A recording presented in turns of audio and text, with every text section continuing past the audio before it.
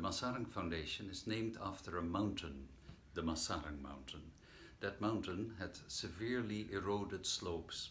Through the reforestation work that we started 20 years ago, we have now a very biodiverse forest where lots of birds and mammals are living again free in this jungle. But at the same time, the flooding in the city of Tomohon has stopped. The water amount that comes out of the springs in Tomohon, which originates from the slopes with the new forest, has now increased so much that the rice production in the irrigated rice fields has gone up.